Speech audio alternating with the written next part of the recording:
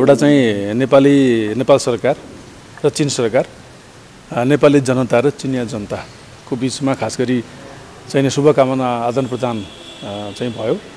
उहाँले चाहिँ चिन सरकारको तर्फबाट चिनिया जनताको तर्फबाट खास गरी नेपाल र नेपाली जनताका निम्ति चाहिँ अब खास गरी विकासको सन्दर्भमा सहयोग गर्न हामी इच्छुक छौँ भन्नुभयो।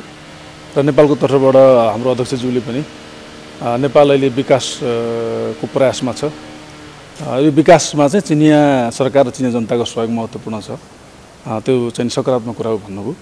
त्यसपछि उहाँले नेपाल भ्रमणका सन्दर्भमा राष्ट्रपति त्यस पछाडि उहाँले अरू कतिपय जो जोसँग भेटघाट गर्नुभयो त्यो भेटघाट गरेर बारेमा जानकारी गराउनु भयो र हाम्रो अध्यक्षज्यूले पनि एकदम सकारात्मक हो। अब चिनिया सरकारको तर्फबाट जसरी भेटघाटहरू भएको छ। जसरी नेपाललाई प्राथमिकता राख्नुहुन्छ त्यसलाई हामी स्वागतै गर्छौँ भनेर भन्नुभयो। र मूलत खास गरी अब नेपाल सरकार र चिन सरकार।